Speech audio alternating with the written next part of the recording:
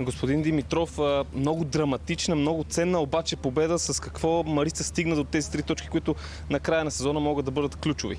Ами така мисля, че тотално натиграхме на отбора на Беласица. Имахме толкова много чисти положения и просто не можем да вкараме последния пас и мисля, че като цяло заслужено победихме хващам се за вашите думи. Многото положение, може би над 20 на брой изстрел към посока на вратата на опонента. Много точни такива, много чисти голови ситуации. Защо обаче не успяхте да отбележите гол по-рано и по този начин да се успокоите? Еми, не мога да ви кажа. Трябва да футболистите. Липса на концентрация ли? И последния пас, където трябва да го дадем, става въпрос. Мисля, че е липса на концентрация. Последния удар да завършим и да вкараме гол. Това си говорихме още на полувремето. Сумата положение, ама просто нищо да влиза. Има и такива мачове. Казахте по времето, тогава извършихте две промени на, можем да кажем, най-невралгичната позиция в средата на терена. Двамата ви опорни полузащитници получиха жълти картони.